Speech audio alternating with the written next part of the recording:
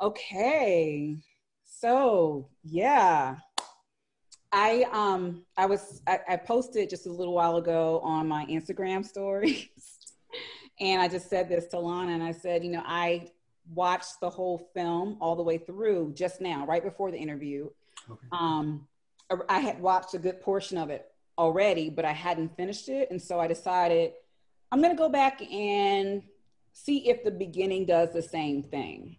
Is this a sustainable beginning or is this just something that got me all, you know, hype in um and it's like a one-time thing, right? And so uh, when I started the film, I was like, oh my God, that that the opening, it's the opening, it's the way that um the film starts with the the spoken word, with the cinematography. It's something I noticed immediately. And while I'm not like uh, I'm not studied or technical about cinematography, um, I know it. I know it when I see it. I know good cinematography when I see it, and I was I was um, very impressed by the opening of the film. And so I think that the questions that I have, I, were like sort of uh, came together as one big question that I think will pretty much get the conversation started and it's going to keep that conversation going. Um, and that and that question is just like was this intentional in terms of um, deciding that you were going to document this experience um, within the community because this is this is such a collective like uh, enlightenment moment. Like everybody is uniting and coming together a- around this thing. So either was this intentional and you were like, oh, we're going to document this moment. We need to make sure that we have records of this type of thing. Or did it just come together? And if it did just come together, how how did you do this? How did this hmm. how did how did you do it? Well, great. Well, um, thank you for your reflection on the film and it's great to hear how you know the opening grabbed you. And i have to um, just I, I, love to give credit to the people who are kind of behind those early impressions that you might have gotten. Destiny muhammad is the uh, spoken word artist who opens the film. And uh, demondre ward a lot of his cinematography is really featured in that beginning um, uh, scene. Um, in terms of the kind of looking back at the origin to the story, um, I had no idea what I was getting into. Um, I knew that there was a mural that was planned uh, for a particular intersection, and the muralists I knew kind of in passing. Um, and through a conversation, uh, they asked if I would be able to help learn kind of the, the, the community's history that would go onto the walls. Uh, so I was kind of brought in as more of a, a support to figure out what the material would be, what the, Im- the visuals would be on the, on the walls for the mural to start.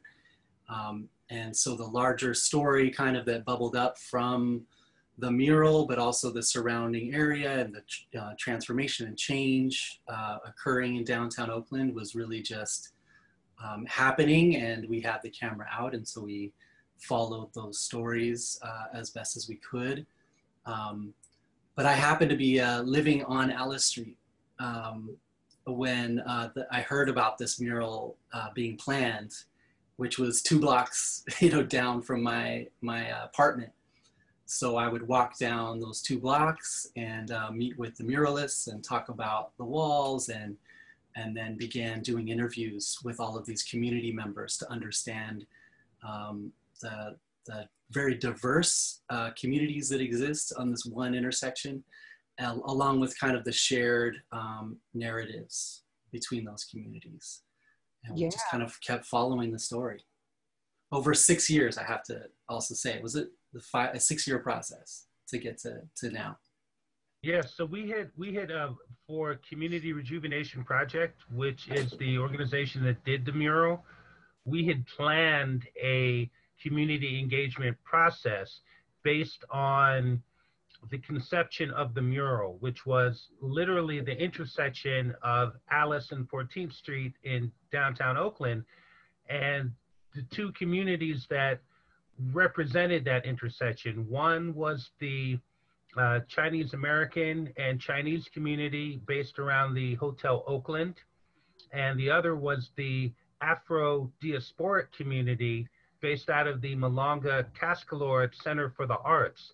And these were two communities that had a lot of shared history of resilience, but didn't really interact uh, prior to the mural being done and the um, uh, the community uh, uh, block party that we had at the at the completion of the mural. Uh, but we knew that they both existed and that they both had shared history. So we set up this community engagement process. We asked Spencer to come in and document the history. You know, get help us understand the context, the cultural context of who needed to be on the wall. But then it kind of evolved from there. So even though it was planned, there were a lot of organic aspects as the process continued? Yeah, I, just found that with the um, the community rejuvenation project. First of all, um, the first thing that struck me about the project being named this community uh, rejuvenation project was that um, the gentleman who had spoken right before the uh, CRP was mentioned talked about moving there from Chicago and um, coming there and feeling intimidated by the murals he already had seen.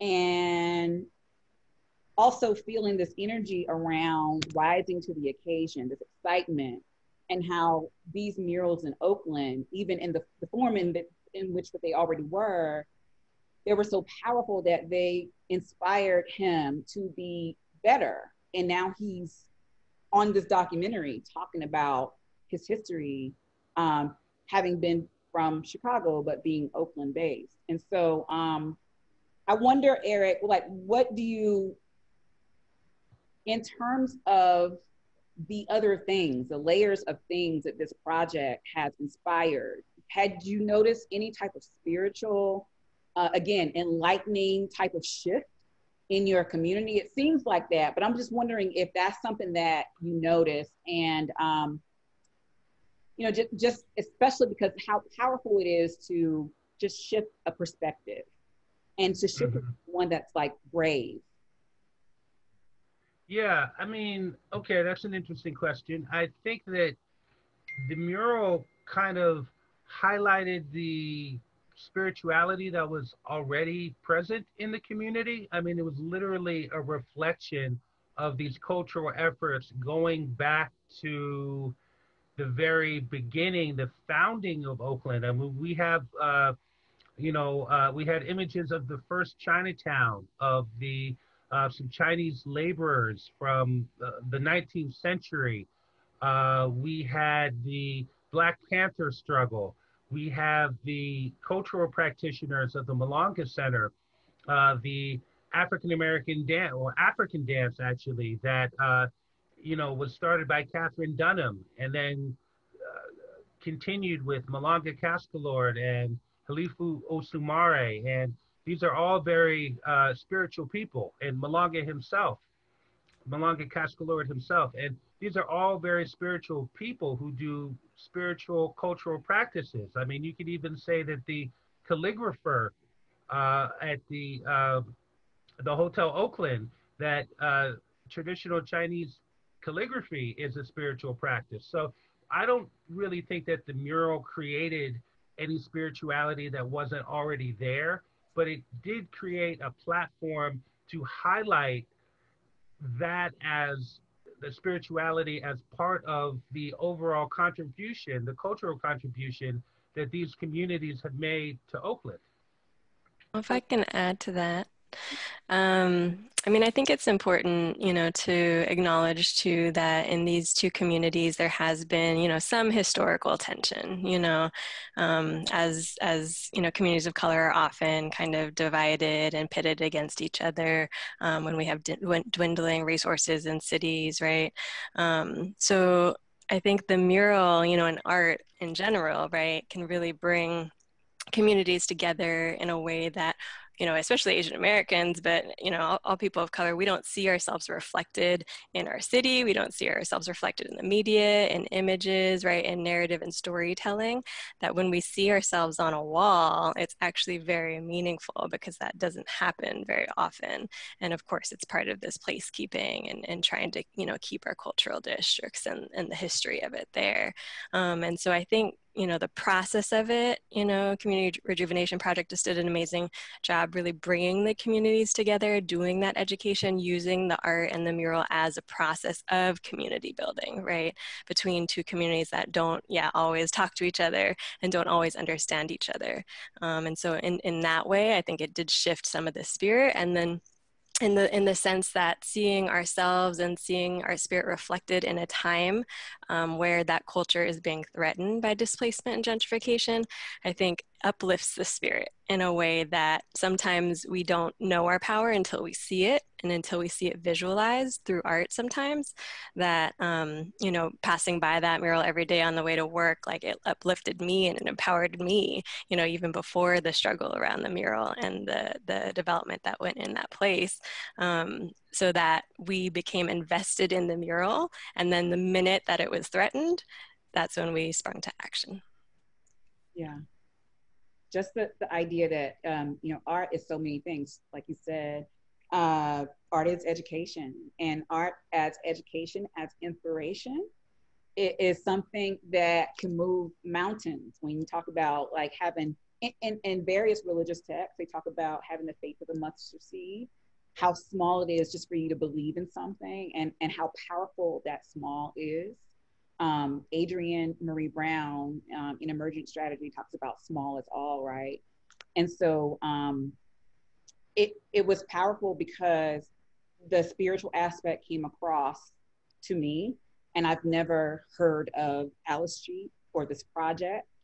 Um, and I think that that is really powerful um, because I feel like I've been a part of this process for the six years that it's been a project. And that's how powerful this film is. And to me, the only thing that could uh, create this type of energy. Um, and I think it may have been, may have been Eric that said it. This is this is this is a, a marker for energy, right? And um, for me to feel it as a first time having heard of it is powerful. And so I, um, I just wonder how each of you have gone from one aspect of your spirituality, whatever that is, to another aspect, because I don't doubt that there was a transition.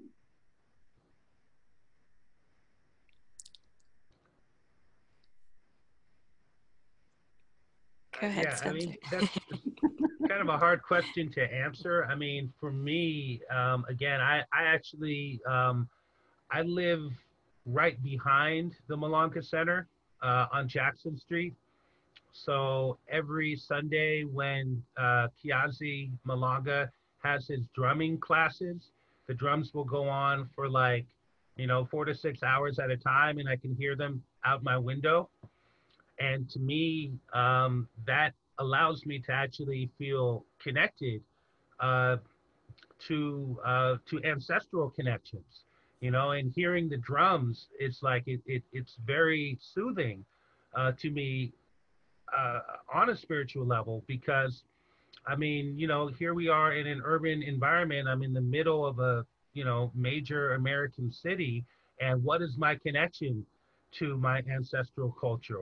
Where do I access that? I access it through places like the Malonga Center, and knowing that they have cultural activities allows me to kind of have an everyday spirituality as opposed to oh well i can only be spiritual on sundays or on special occasions. It's more like no it's part of you know my everyday reality my everyday being is that i'm able to carry this with me and just being able to reaffirm the connection to the ancestors.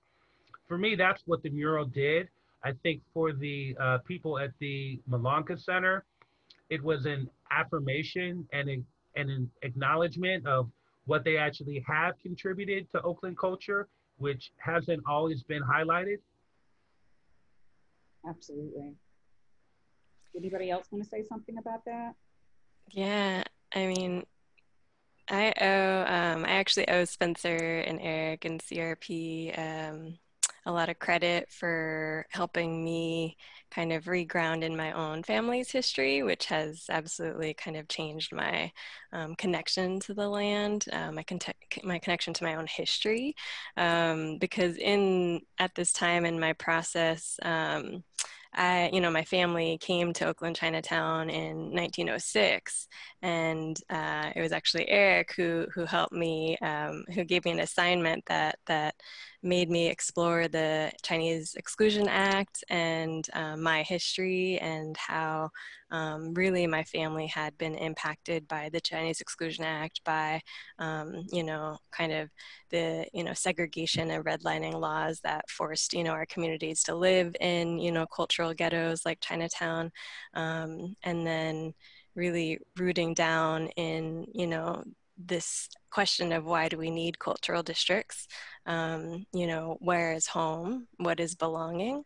Um, and so kind of all, it all just kind of happened around this time when you know we were doing the marches and we were doing you know the organizing around our neighborhoods and around these community benefits agreements um, that this was actually like a very deep spiritual process for me to to claim you know who i am as an oaklander who i am as a californian um, being part of this the bay area history for you know over you know 100 years um, claiming that, you know, because I'd always said, you know, I was born and raised in Oakland, but then when I really learned about my history in, in this neighborhood, you know, I really felt this much deeper power kind of coming from the ancestors of like, no, you have to defend this because it's important and this is why.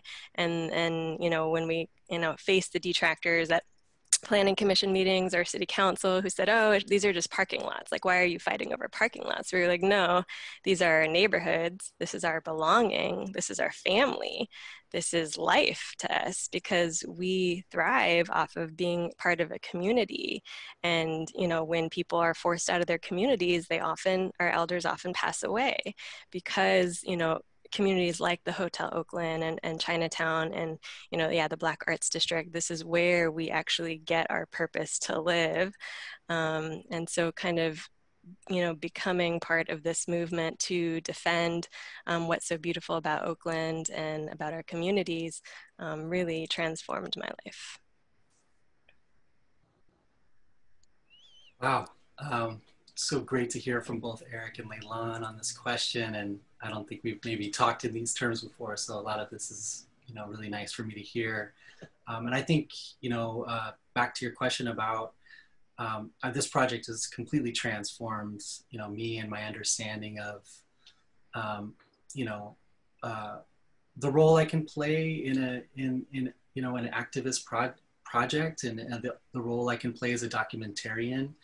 Um, I think has been in some respects a spiritual um, experience and a um, I think you know when you start um, trying to tell a story or help others to tell their story um, there's a level of trust. You are both kind of giving each other in the in that in that in that process. You know the teller of the story and the listener. Um, there's a there's a relationship that's that develops and then the the idea of um, you know you don't really know where a story is going to go. And there's so many times where you could just kind of you know put it down and, and move on to something else. And i think the the the faith required in some respects of um, going through to the end um, to see what happens and um, continue to show up. Um, is in some respects kind of an everyday, you know, spiritual decision of, okay, I'm gonna, you know, go back and continue um, showing up and who's who who have I not heard from, whose voice is really critical, um, you know, and and and and the sense of, you know, when the mural was going to be covered up, which you know is part of a plot uh, line in the film. Um, there was a real kind of sense of like, well, maybe this is o- it. Maybe this is it. Maybe this is over. And I, I think I was really buoyed and lifted up by the community and the community's response and the community's commi- commitment to say no. You know, we we want our community to be reflected in in our neighborhood, and we want to be um, sitting at the table with developers and making decisions together. We we can't be left out of this conversation. I think I was lifted up con- continuously by the resilience of the community of Oakland and in particular at this this intersection and that that's had a lasting um, impression on me and has definitely transformed me in that way. Yeah, it's incredible. Eric, just more or just more uh, transformation. Well, you know, I, I mean, I think it's an, important to incorporate spirituality into our everyday lives and not look at look at it as something that doesn't already emanate from within us. And I think that when we see projects like this, when we see the that mural, it, it was a acknowledgement of that. And, you know, particularly for being a quote unquote minority, even though if I look at the demographics, people of color are the majority of Oakland's population. It's one of the most diverse cities in the entire country. And, you know, if I do the numbers, it's like still more than 70% people of color, even with the displacement that's happened. Um, but, you know, to build on what Leilani was talking about, this led to the this entire process of we had a community march to the planning commission to file paperwork for an appeal. We bought brought drums into the city building. It was probably the first time they've ever heard live drumming, like in their face, like reverberating through these halls where, you know, probably 80 years ago they were uh, they were making redlining documents. Um, and then it didn't stop there. We went ahead and actually started negotiating community benefit agreements um, with developers. And I think that we were so energized by this movement that it gave us the strength to do that. I mean, I had never done that before. I had no idea what I was doing, uh, but we just kind of, you know, maybe maybe spirit guided my hand, maybe the ancestors were with me on that one, and we were able to uh, successfully negotiate uh, community benefit agreements worth more than $20 million, including affordable housing downtown. And I remember Leilani in the meeting uh, with the developer and just insisting that it was possible for them to build on-site affordable housing. And that affordable housing tripled the amount of affordable housing in the downtown pipeline, just one development. And all of that goes back to this mural and the acknowledgement of what you're calling spirituality. Yeah. I just, I, so many spiritual aspects of it, unifying um, Asian American communities and Black American communities, which is, which is powerful. Everything is powerful within itself. So that happened. Um, in terms of uh, one of the gentlemen in the, in the film said that, you know, he doesn't make a lot of money, but he's happy. And that really for him is what what's important. His daughter inspires him. His wife inspires him. So that aspect of um, being being proud of yourself, that self love, that all the things that we're that coming home to ourselves, right? And then um, you know highlighting the things that kind of hold up the earth, like everything that was going on at the Malonga, um, all the programming, and how people were dancing and dancing their way to City Hall because this is the way to practice a culture. And all people wanted to do was to be able to have the space, physical and spiritual, to practice culture. And that does translate into art. And that becomes an education, becomes inspirational. So I keep thinking about all these different things that hit me. And I wonder, um, just in terms of the commentary that you heard from Jane Doe, um, knowing and being so secure in what what what you believe were possible, right? Um, to hear this woman talk about the project and the way that she did, um, I wonder what your thoughts are uh, surrounding that, and how did that challenge all your positive aspirations? How did how did that challenge? Did it challenge? You're it? talking about the woman that wrote all those letters. She wrote the letters. She said something about um, she felt like this was a lot of uh, simple-minded or mindless protest, um, and that she preferred dogs and dog walkers be in the mural. And so we we I was watching this um, film with my partner and I, and we said, and and it was said, um, is that new code? Is that code for white people? And um, you know, the fact that this woman would feel it important to interject that there should be dogs and dog walkers represented, and otherwise this mural doesn't represent the neighborhood. Yeah. Well, you know, she was um she almost was like a comedy um aspect, almost like a humorous aspect. Um and and you know, and in real life, like we would encounter her like walking down the street and she'd just be kind of like going on her way, like da da da da da da da da.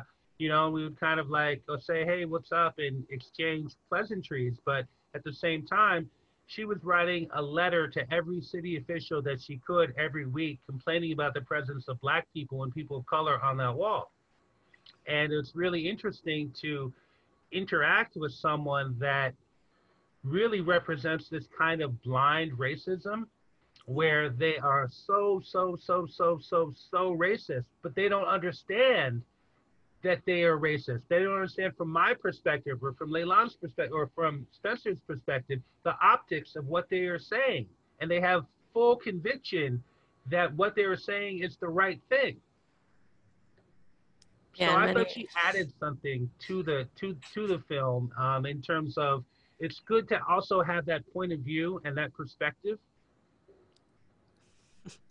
Yeah. yeah, I was just gonna parallel it with what it sounds like. You know, the I think it's similar to the the mindset of white lives matter you know that that these are people who don't understand the history um, of our city the racial dynamics of the city and why people have felt uh, left out for so long. You know, it's interesting looking at you know the history of this neighborhood, where you know there there used to be white people um, before white flight, right? In the 1950s and 60s, they all left because they saw the Black Panther Party. They saw people of color rising up in their power, and they went to the suburbs. They went to Walnut Creek and other places um, to get away from communities of color and left cities disinvested, um, struggling for decades and decades on our own to rebuild our own city. Um, and so it's it's fascinating to see an elder like that who you know I assume had been there for a while. I don't I don't know Spencer if we know how long or, or Eric how long she had lived there, um, but to be so narrow-minded and um, you know kind of tunnel vision in in you know understanding the context of the city and our history. Yeah. Uh, I, I, would just add um, both of what was said there was um, was right on point. Um, just add that I think she has been a resident of Alice Street for a long time, uh, much too long to have kind of the uh, the opinions that she'd formed around um, what kind of material should was appropriate or not appropriate for the wall. But she was a major thorn in the side of the project, as Eric said. She wrote so many letters. She was at every city council meeting. She wrote letters to the editor. Um, you know, really complaining about the content of the mural, um, which, you know, one of the only real um, object, objective voices, um, but a very amplified one. She's a lawyer by training, so she had, you know, the legalese information, you know, to back backing her up. And, um, and at times, it, you know, we had to have special meetings with the city and, uh, or the muralists did have to have, you know, ongoing meetings to kind of uh, figure out how to, how to move through it. Um, but you know, I think what what Lailan brought up too is that this is the the danger of what gentrification can mean in a community, is when you have people so disconnected from what was the important cultural aspects and the the the vibrant and diverse history of a community. When you have new people coming in who kind of disregard that whole history of what was there before, um, and then push their own agenda you find instances like this where you know um, it put put at threat not only the the mural, which is you know important, but the the Malonga Center itself is under threat. By you know people from outside the community complaining about the noise from the drums you know and um, and you find these very important in, uh, institutions that that have to kind of fight against newcomers not regarding the the history of the community in which they land you know um, and white people in general i mean not, not to mention jerry brown trying to take over the building for his charter school you know and, and mm-hmm. carla and others having to fight back against that yeah people not understanding the significance of, of the, our culture and our history i mean just just the idea that uh honestly when we think about like what we're seeing in, in the in the film and what what people term as urban you know that's been a you know uh, a euphemism for derog- a derogatory term um, for a while. But when we think about um, just the fact that people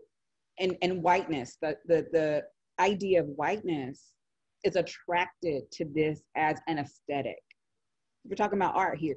So this is attracted to what urban and urbanism is as an aesthetic and so much so that they feel like they have to own it and then whitewash it even though it's the thing that attracted them it's the thing that's kind of mm-hmm. holding up the globe right yeah and so i wonder that, that that's where all my spiritual questions are coming from because let's be real urban neighborhoods neighborhoods of color black people's neighborhoods they are there's an aesthetic associated with this, and it is a, a, an attractive aesthetic. And I don't think we've heard people talk about that before. It's an attractive aesthetic to whiteness. Um, and it's it's just it's just crazy uh, because we are oftentimes expected to just kind of lay down and let it happen. So I mm-hmm. wonder if there were thoughts like that that um that that, that you feel are super unique because i felt like i'm like wow i thought about this in a way that was unique to me i had never thought about this before in this way this helped me think about it in this new unique way for me i wonder if that if anybody else has um thoughts like that about the film when you play it back yeah, I think definitely. I mean, it came up in, in planning commission meetings and city council meetings. You know, I think Eric said it more than once that, you know, this the, these these neighborhoods, this these cultural districts that you're trying that you're displacing and gentrifying are exactly why so many people want to pay three thousand, four thousand, five thousand dollars for an apartment to live in Oakland, and why they're coming back from the suburbs after that white flight, right? Because they are bored of suburbs being devoid of culture and whitewashed, you know, and so they're coming back to these cities, yeah, for that color, and, and we know as Oakland because we've seen it across the bay in San Francisco, everyone flocked to San Francisco Francisco for the culture, for the vibrancy, for the artists, and then they displaced and killed it all so that they were forced to, refugees came over to Oakland. You know, we have many artists from San Francisco who had to come over here. And so we've seen it before. And so we knew that we had to stake, put our stake in the ground and say, no, we're not going to let that happen in Oakland. Like Oakland, you know, and, and our communities and our artists here are too beautiful um, to let that happen here. Yeah, absolutely. I mean, I think that cultural preservation, when you really unpack it, uh, you can really make a very strong argument for it. And it's just like what Lailan said, where they did surveys of people, new residents that just moved to Oakland, and asked them what they valued the most, and they said diversity. Well, okay, but mm-hmm. you're diluting the diversity just by moving here. So the least that you can do is understand the history of the neighborhood that you're moving into. And you know, since we did this project, uh, since we uh, completed this this film, we've moved ahead with uh, cultural preservation initiatives on all these projects uh, in Oakland. Uh, and I always look at the Alice Street mural, the Universal Language Mural, as a model for that. And you know, because some of this is just in theory and it's just policy and recommendations, but where's the implementation? And this is a very strong implementation of what the power of public art can do. I mean, we just saw it with the George Floyd murals, uh, not only in Durham, uh, but in Oakland and in other cities where all this beautiful art came out of this struggle and this protest and this pain. and you know it's it's but it's not just pain there's also joy uh, wrapped up in it you know and so when we say that black lives matter you know we're not saying that other lives don't matter. We're saying that if you honor a black life it basically creates a more equitable society for everyone. We all benefit yeah. Yeah. Anybody else want to talk about that Oh, I think it's so important topic to, to bring up around how uh, communities are shifting and changing. And, you know, as, as a white person too, you know, um, and in working on a project like this, um, I had to really make sure that, you know, my biases weren't, um, you know, entering into the storytelling. And, you know, every time you kind of pick up a camera and um, have, I think I alluded it to it earlier, it's, you're creating a relationship with the people you interview, um, you're developing a, a, level of trust to tell story. But at the same time, it's so important to get a, a very diverse uh, group of production team to um, give it give advice on story um, to to ensure that you know you're not um, creating biases or kind of romanticizing um, from somebody for, who I didn't grow up in Oakland. Um, I've lived there for almost 20 years, so I have some experience. But uh, here. Um, but the, I think in the storytelling aspect, it's so important to always kind of evaluate, um, you know, what what's your your motivations um, and what are the power dynamics with holding a camera and telling a story. Um, so I bring that up because I think it is kind of this. Uh, it's a bigger question around documentarians in, in general and and how you tell stories that you ensure that you bring a diverse cadre of uh, production team and make sure and do you know screenings and get feedback and look at your you know subjects and make sure that everyone's kind of on board with with how you the angle of the story and make sure that they feel that it's the right story being told. Um, so just kind of like um, pulling back the curtain to talk about that element of uh, storytelling i think it's it's kind of a critical critical piece I, I was curious about what you had to say because Eric kind of touched on my next question. So trying to make sure I gave this a space. And uh, wow, that's pretty good. Um, yeah. So, and, and, and, and this just goes right along with question, which is um, obviously this is a model and maybe there was some intention you know, for this to be a model. And and maybe there there wasn't, which is, you know, any good thing, you know, created is is is there's something, you know, and everything about your life is intentional. So everything's gonna be dope. Um but so this is a model. Do you think that this model should be replicated all over the country? Oh, and absolutely. So, wow. That's a no-brainer. That's a no I mean, and you probably want to uh, want me to unpack that. Um, so, you know, uh, the fact of the matter is that America is getting more diverse, and by 2050, it will be majority people of color. Uh, and so we have to understand that these are population trends that are also driving cultural trends.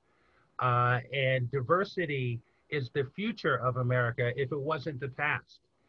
Uh, and so we're all informed and in, in, enriched by uh, proximity and interaction with other cultures. I mean, we cannot say that people who are xenophobic are the most um, enlightened and elevated people in the, you know, because they haven't really been exposed to other cultures. They're afraid of other cultures. They don't know that, well, you know, other people like to dance, they like to sing, they like to, you know, walk down the street, like it's not really that different. We're all human. Uh, but when when you have a solid model that upholds cultural diversity and upholds, um, I would even go so far as to say cultural equity, um, it really becomes like, wow, this is something that upholds the, the, the, the values of a community. And it gives me a, a, a sense of place and a sense of identity and not only that, it makes that place a destination where this is somewhere I want to go. And I mean, uh, you know, Lailan talked about walking past the mural every day, uh, you know, to go to work. Uh, I mean, I did that too. I, I, I lived one block from the mural and I was always going down 14th and up 14th and always passing by the mural. And it was like, you know, for the, the time that it was there, it was like an old friend. You know, it made me feel more comfortable in my own city. So yeah, if that can happen in other cities, um, you know, besides all the benefits of public art and what they do as far as creative placekeeping and positive mental health benefits and all of that, um, the main thing is that they make people feel more comfortable and impart a sense of belonging. So yeah, absolutely, that should be everywhere on the planet. yeah.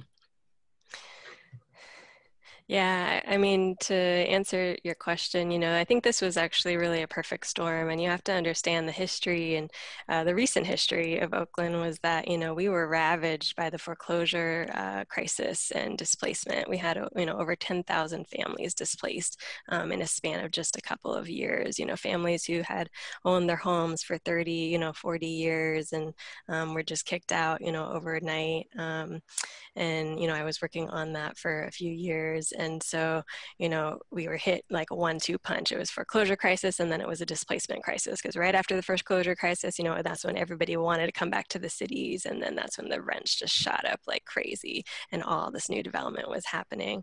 Um, so, you know, and that's happening in, in a lot of cities across the country, right? So, um, that perfect storm, you know, it, it, it um, is it is happening in many cities because of kind of globalization and what's happening with our cities and people coming back to the cities, right?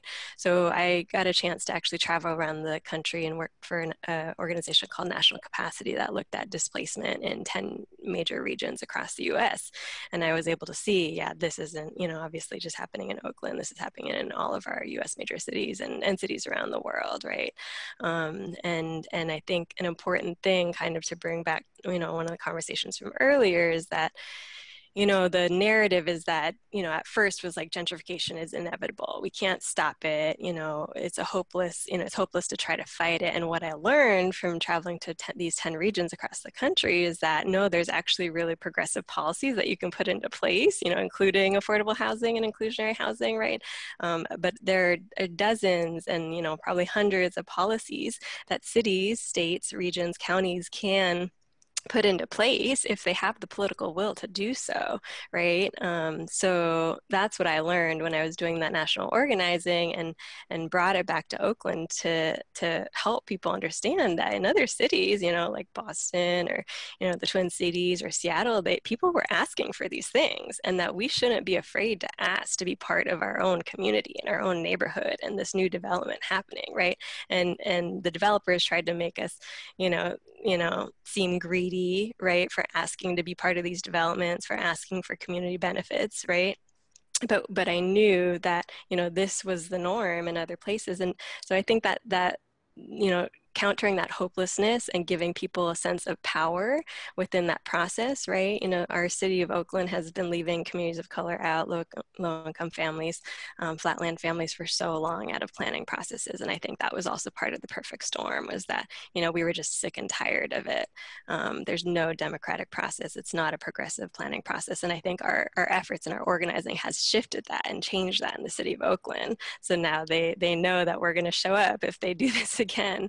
Um, but I think it's about shifting the the sense of do we have the power to stop this? And i think that's what can change in every city is for people to see their own power and to demand it and to fight it and to defend what is ours and what our communities and our neighborhoods. So absolutely that needs to happen across the country and across the world. It's a theme that we're the ones we've been waiting for and that's certainly something that i would want i want the blueprint. I'm just i'm just saying Spencer? Oh, um, well, what's already been said again. Um, what else could I say? I think that, um, you know, the two muralists, Desi and Pancho, when they approached this project, they approached the mural from a very deep uh, community engagement. And that doesn't always happen with a lot of public art, you know, in our, in our big cities. Um, and as Eric was also part of that process in doing this deep community research, um, bringing me along to kind of learn the community stories. That was a lot of investment of, I mean, it was a couple years before any paint went on the wall. And not every mural has that kind of um, approach. So if there's anything, I think that model of uh, community engagement and having meetings with, uh, you know, diverse communities to come up with the right material to go on the wall was very critical. Um, and then I think too, um, there was an approach from the from the outset that said the the message on this wall is about resilience and is about combating gentrification. And so that was already the um, the intention was put into the material. Um, and there was early conversations about, you know, I wonder if this can help stop this this parking lot from being developed you know would the community rise up if if they felt a sense of connection to what was on the walls? Now if if there wasn't a mural there i don't know if there would have been the same community um, rising up to fight that development and to fight for community development um, benefits um, community benefit agreements. But um, something happened with the intention of public art, the type of material that went up, the communities that were already, as Lailan was mentioning, politically um, engaged in, in, in fighting for, you know, seat at the table uh, with developers and city planners. So it was a perfect storm. And also I think there is something to be said around what, what the intention you put into your art, the community engagement process that you, you, you take in doing that, and then how the power of art to bring people together. Um, there is something there, I think that, you know, we've talked about it's like uh, Alice Street is, you know, one street, but I think every community, every city around the country has its Alice Street mm-hmm. and has its, has its place where, you know, it's kind of the front line of gentrification. And please use these models, you know, and we hope to kind of provide it in a, um, you know, break, broke, broken down way through curriculum and other website, etc., for the film um, to share the model to hope that others can kind of be inspired or share their models, you know, because obviously this is not like they invented the idea of community process. It just worked in this context. So I think it is really important to, to provide those tools to others dealing with similar issues. It's a part of the whole, a necessary part of the whole. And now that we can, you know, we're seeing it activated, it, it makes a big difference. Um, just just to tag on to that real quick there has already been a model of the community mural tradition. Um, it started in chicago in 1967 um, so that model has already been established and the idea behind that model is to give ownership of the work of art to the community itself. So i think you saw that here uh, in, in, in, in, in the Alice street mural. What's different now is that that mural is also now being paralleled with equity processes and equity policies and leveraging equity into things like community benefit agreements and policy initiatives that cities are doing. So we're taking an existing model and adapting it for what has to happen in the future, mm-hmm. which is more equity, cultural equity. Yeah, absolutely. Uh, art as an equalizer. Um, I'm an equity person. I work in uh, work with the city of Durham around issues um, that foster equity in our community. And so um, I saw those aspects of this project. And so it, it's just, there were so many things, so many things. I could just go on and on and on. Um, I know the mural is actually a photo of the mural is actually on the city website under the Department of Race and Equity. Really? Yeah. I it's did not know the that. child for equity in Oakland, in a sense. City website. Okay, I will take a look. That's that's good to know. Um, what were the things that we didn't see? Like, were there were there some favorite moments, and you knew that those things would not come across? They had to be personal, um, or they were a, a secret between friends or an understanding because you experienced something together. What were some moments that we didn't see, but were also very impactful for um, for you in this film and the process? Well, we didn't get footage of the developer negotiations, right? Because those were all private. so that definitely that was It's a big true. part of the story. I mean, we did interview a couple of the developers involved, but we didn't get into those dialogues, which would have been amazing to include. Golden. I can't. I wasn't there, but you know, Lailan and Eric both were. Um, you know, we kind of talk about what happened from those, but um, it could be a story all in itself. And the other thing I would mention Yeah. is, you know, we went deep into so many of the stories of the cultural artists um, at the Malonga Center. Uh, Ruth Beckford, this really important figure who's the center of the mural, um, was like is really kind of seen as the the godmother of African dance in Oakland. Um, she was a direct uh, kind of descent, well, studied under Katherine Dunham and taught the Dunham technique back in the 40s and 50s in Oakland. I mean, as one example, and you know, we did so many deep dives into these different artist groups that have been around for a long time and told their entire story and then realized, okay, we can't fit all of this into this, you know, hour-long film. Uh, but we do hope to actually produce an Alice Street archive um, that can be a, a, a place where you can learn more of these stories.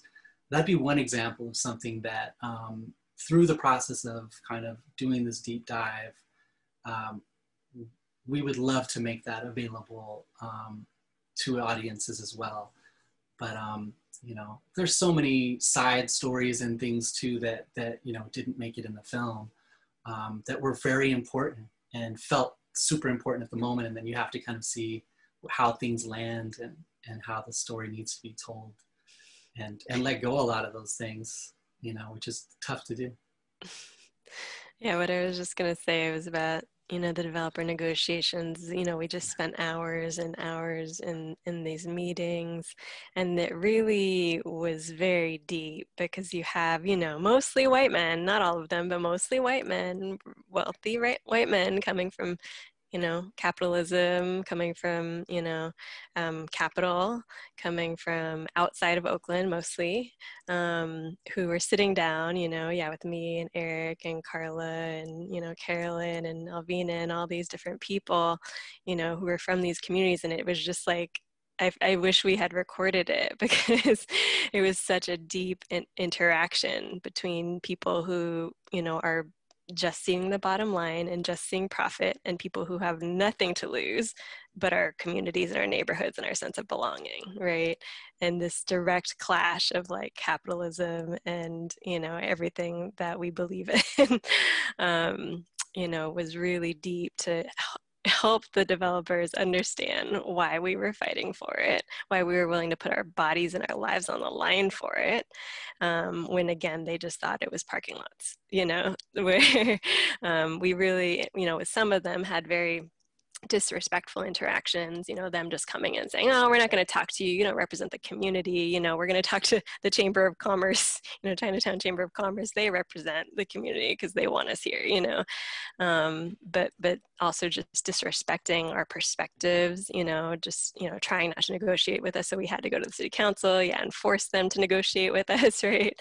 Um, but then at the end of the process you know in our fourth community benefit agreement you know over that span of a few years we finally found you know a developer who um, you know was a little better in the sense of they wanted to do local sourcing. They were really trying to understand where we were coming from. And we wanted them to be a model of like this is what a good developer can be if you work with the community and we won't fight you. And then they decided not to negotiate with us. So we had to end up fighting them and and you know appealing them and um, and forcing them to the table at the end of the day. But you know we actually had this really powerful conversation i think you were there you know where we just we just we just sat there for hours and we just said look you know this is what's going on um, and we force them to look at their privilege you know and we force them to have that conversation and they like had this very touching moment of having to acknowledge their own white privilege and they're coming into these communities and um, yeah it was i mean all those hours will be baked into my memory because um, yeah it was pretty deep i'm sure Yeah. i can share more but of course, that was after the, uh, the the the planning commission hearing where they cried white tears and tried to present themselves as a victim.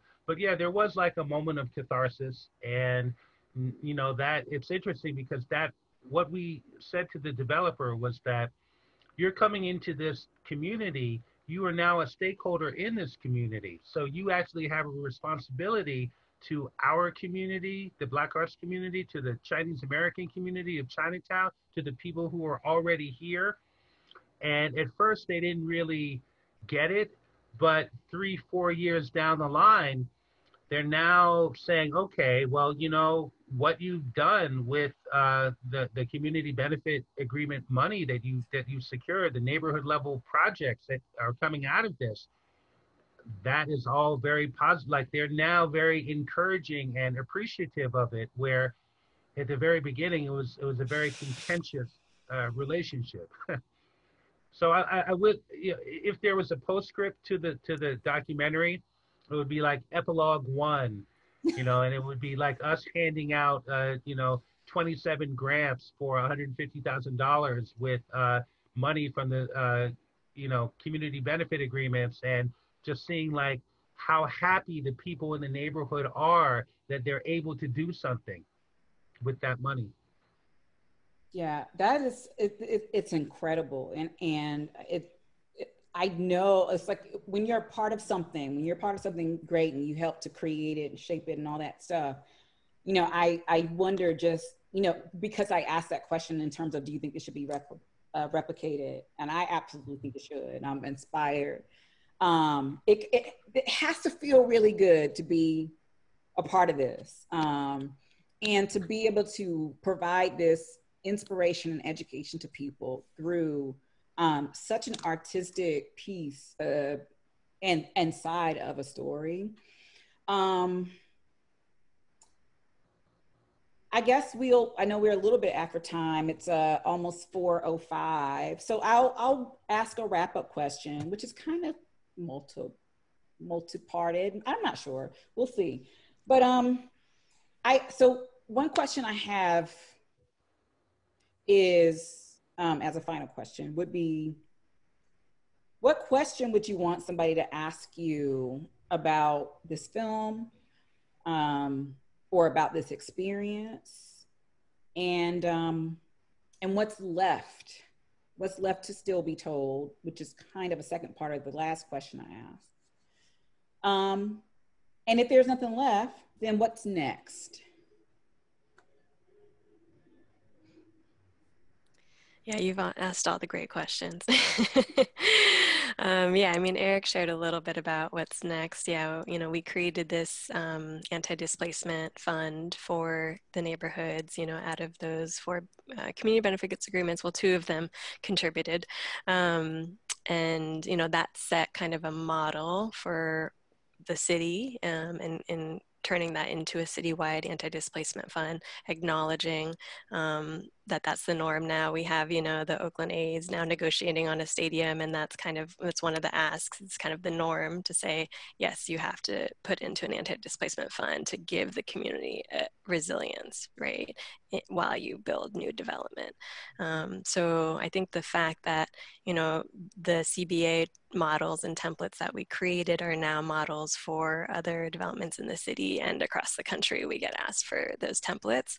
Um, I think we need to begin to do that and institutionalize it. You know, we had during that campaign come up with a 10 point plan on how the planning department had to change and how it needed to implement some of the progressive policies from Philadelphia, um, where, you know, communities are embedded in the planning process, where they actually have city staff who go out into the neighborhoods and engage neighborhoods and communities in this, where um, community, community-based organizations have a review process of any new developments that are large coming into their own neighborhoods, right? These are progressive policies that need to be spread throughout the country and throughout major cities as this massive displacement happens because we will lose our history and we will lose our communities, our neighborhoods, and our belonging if we allow it to happen. And so that to me, you know, is the big push on my end is that we have to have progressive policy. We have to have people who are bold and willing to have these conversations about what we're willing to do to save our neighborhoods and to save our history. Um, you know because a few years ago yeah these these these ideas were you know they were like they were too much to ask of developers right? That was the narrative. Don't ask anything of developers because they won't develop here in oakland right? And now you know we have some of the highest rents in the country and they don't want to develop here. We can afford to ask for to be a part of it right um, and so you know san francisco chinatown for example they have you know really strong zoning laws right that force um, any developments and offices there to be neighborhood serving right? Like these are things, you know, that, that was fought in the 70s that were very bold, that were very powerful, and that protected the neighborhoods, right? So we have to be willing to, you know, as, as city officials, as policymakers, as organizers, be, be ready and willing and bold to get these policies put into place. Yeah. yeah, absolutely. I mean, I think equity policy is kind of like where this all goes. And Leilani mentioned the uh, Oakland A's Howard Terminal uh, process. So I've actually been a part of that uh, steering committee, and I just worked to develop recommendations around culture and history. And having this experience helped ground me in that, so that when I came to that table, I could say, well, we need a cultural preservation and stabilization fund, and we need a West Oakland History Museum and Cultural Center. And we need to really think about a mural initiative for the Black Arts District in Chinatown. And I've also been part of the um, uh, community advisory group with the Downtown Oakland Plan, which is Oakland's first area plan to have an equity focus. And so, you know, I went and looked at the municipal code and read the fine print, and Oakland has had an equity mandate since 2016. But how is it implemented? And that's where the community pressure you know, really can be that leverage to get these things implemented. I mean, there has been equity policy in a lot of cities, Seattle, Boston, um, other uh, New York has some progressive language. Um, but how is it implemented and does it have teeth? And these are the things that we really need to push for because we're in the right. I mean, we are pushing for things that we should all value as a society, which is diverse culture and recognizing all the contributions that non-white communities have made to a city's identity.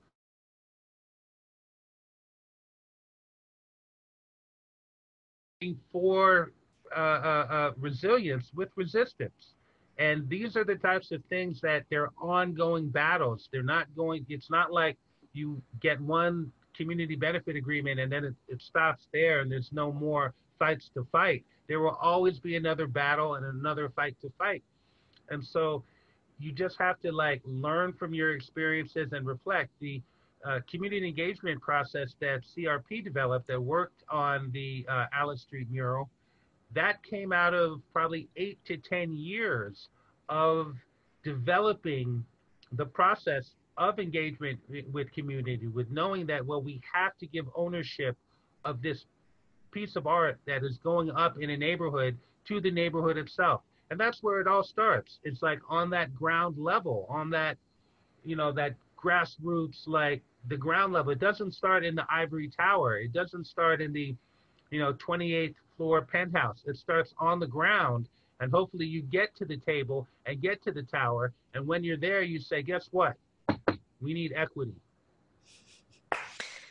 and maybe Spencer can share too. But we, um, you know, I work in the school district here in Oakland, and so we're uh, we want to work on with Spencer and Desi and folks uh, curriculum, you know, that um, is taking all this footage of, of the footage that Spencer got of these interviews of you know community members, and then turning that into lesson plans, turning it into curriculum for our Oakland Public School students to learn our history. Because I grew up, yeah, here in Oakland Unified School District, and we didn't learn anything about Oakland history. anything. we read the textbooks that talked about George Washington and Christopher Columbus, and literally we didn't learn anything about this deep and rich history of our communities and our neighborhoods. And, you know, there's a movement now for ethnic studies and really to transform our textbooks and transform what we're learning in schools that, you know, is actually relevant to our own communities. And also, you know, that just the narrative and the storytelling that empowers us or disempowers us, you know, and I think we're in that moment where people are finally waking up to the history of this country and knowing that the narrative that we've been taught for so long is wrong and it's white supremacist. And so we have to reclaim all of that because that's where it starts. You know, it's the education of our young people to understand their own history, their own power you know to to be able to understand where they fit in where they belong in this arc of history as human beings on this planet um, so spencer i don't know if you want to talk more about that oh well um, i'm so glad that you asked the question uh, angel and uh, about what's next and i'm so glad that Lailan and eric were here to talk about the work that they're doing because they're really champions for the community and on the front line of that policy work. Um, and yeah, I think um, to bring it back to uh, the film and the and, and what's next in terms of the film, um, the uh, the films just kind of started to get out, and really Hayti um, hosting this event is the kicking off um, the next three months of about ten festivals that we have um, been selected for so far. And we have an impact campaign uh, that's being developed as well, where the films can be brought to communities around the state of California um, and actually in Chicago um, uh, in areas impacted by gentrification. Um, and you know, this is exactly what we hope in terms of the future is this kind of dialogue and discussion and um, you know, realizing that the community of Durham and Oakland have um, a lot in common. And there's so much to learn back and forth uh, with um, what's working, you know, in, in different communities. And we hope that, you know, film can be one more way in which these types of discussions can, can occur and policies can be discussed and strategies can be um, shared and um, I'm excited about it. You know, and, and for people to stay in touch, you know, please, you know, check us out, alicestreetfilm.com, and um, all the other types of links I'm sure will be available. But um, thank you again for the opportunity to talk hey. talk about these uh, these topics and, and, and share the film. Does anybody else have any last words or last thoughts? There's so many things I could still say. just know. I just um, wanted to yeah, thank you for inviting us to this conversation. Um, I have a, a special love for um, North Carolina. Um, I was actually named after um, someone who was killed in the Greensboro massacre of 1979, um, Sandy Smith. Uh, so my middle name is Sandra. And so, you know, she was killed by the KKK. And it's just like, you know, it's just like today. you know, it's like it, it's many many years later but um, we're facing the exact same battles right about who belongs in this country and who's allowed to have power over it. Um, and so it's just it's very deep um, you know, and all of these these battles are really deeply connected to to the history of this country, um, and just you know, thank you for for cross you know, crossing this dialogue, um, because yeah, we are all impacted by it, and when we all learn our, our deep histories and how we're interconnected, um, that's how we're going to move forward as a country. So absolutely, it's empowering. Yeah, absolutely. So my final thoughts are, um, yeah, I want to I want to thank you, Angel, for having this discussion, and it feels really good to you know connect with uh, someone doing equity work across the country. I want to thank uh, Lailan and, and Spencer for also having a, a, robust discussion. And my final thoughts just kind of build on to what Lailan said, which is, you know, this seems like a really portentous moment in American history. And this film is coming out right at you know, a perfect storm time, and that cannot possibly be a coincidence. And so, we really have to think about, you know, claiming our own power and not letting them other us and disempower us, and that it is possible for communities to rise up and fight the power, like Public Enemy said. You know, like how are a bunch of volunteers, you know, like a bunch of broke ass volunteers, going to go up against a rich ass developer and win? Yeah. And win multiple times and actually get something that is, you know, tangible for their communities out of what would otherwise have been nothing. It is possible. And it, you know, it happened in Oakland, so it can happen in Durham. It can happen anywhere, but you have to believe that you can empower yourself through the process. I love it. Perfect storm and portentous. yeah.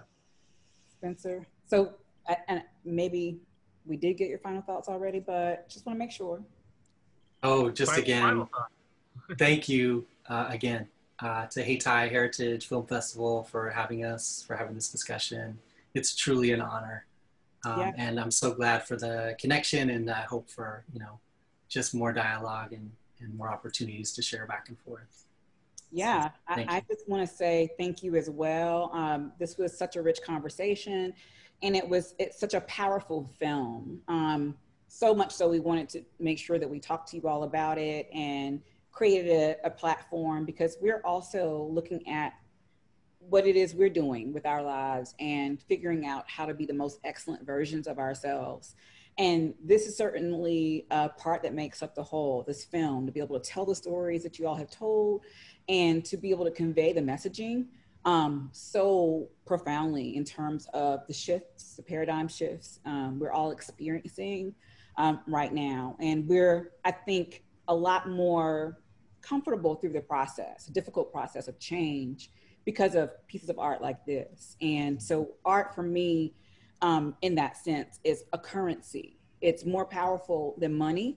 And I think that's why we always run into problems with capitalism because uh, systems didn't necessarily have money to exchange, um, they had culture to exchange.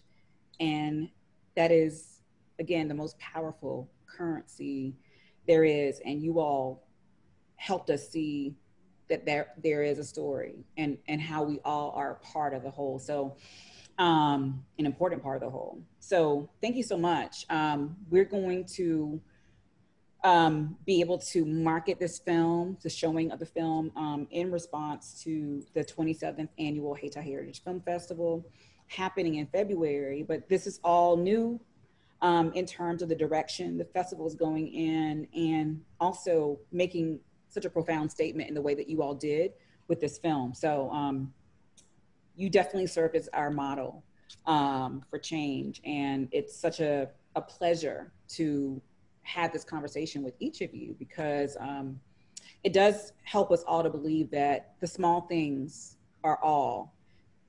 With the small things or the faith of a mustard seed, you can do something really profound and change the world y'all have definitely done that. And um, I'm so grateful to have an example to follow.